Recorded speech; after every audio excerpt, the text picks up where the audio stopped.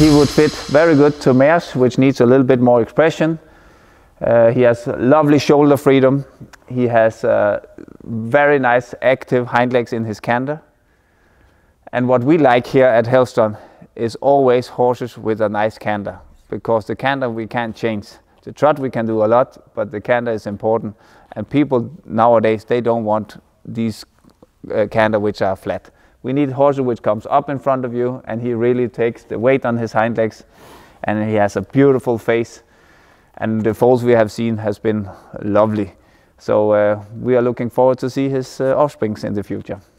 Another thing which is important for you out there, that's the character of the horse. You only see videos, you see short clips from a show or something. But as you see here, he's a really, really nice horse from the character. Yeah, you see. he uh, he would also fit for uh, for the hot mares, which are a little bit uh, crazy. He has a character also even in the stable, which is important for you to know, which is really really good. So he fits for for a lot. Um, I think uh, you will also see in all the videos we will make, we will talk about difference.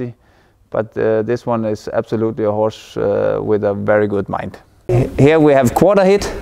He's now six years old and he's developing into the six-year-old classes. Very good for the moment. He has already started. You see now his half passes. And you will also later on see some beginning changes. Søren, who rides him, has did a super job on him the last months. I must say he has been developing really, really nicely from his young age and until now. He's out of a very famous mother line as well, where only top horses are coming from. Poetin sold for, I mean, two, two million plus on the auction from the PSI. And you also see he has beautiful big gaits. And as you can see, he has really started his work with the collected. And what we think he has a huge potential for, for the Piaffe and Passage. You see, he started really now to collect really good. And he's only six years old.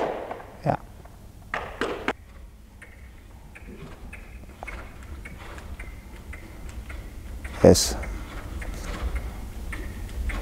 Very good. And stop. Super. Yeah. Yeah. The, the of quarter has extremely nice active hind legs, which shows also his power, his engine, and his willingness for the collection later on. He really put his hind legs under the seat of the rider which means you have a very nice feeling up there. Very good. He just started his changes and as you can see they are really taking off the ground. And if you have seen the canter one year ago, you can already now see that the canter is way more together uh, like we wanted for the six-year-old classes. Good. So the changes are really on the way and his attitude is amazing, I would say, for, for the work. He has a super willingness, very charming horse with a huge potential. As you can see here, he's now started also with his half passes, start to move a little bit for the rider. That will later on, when he gets older, come into the for example, George classes. And now he will make a half pass to the left.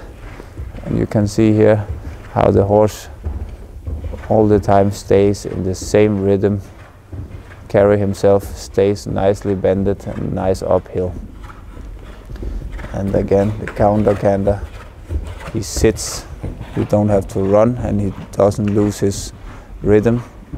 And again, in the daily training, it's important also let them stretch, let them get long, get a little bit of break in the in the hard work in the walk here, it's important that the horse is following the signal from the rider, which he's doing great here.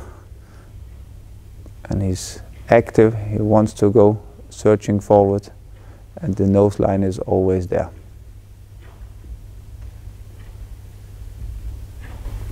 Very good.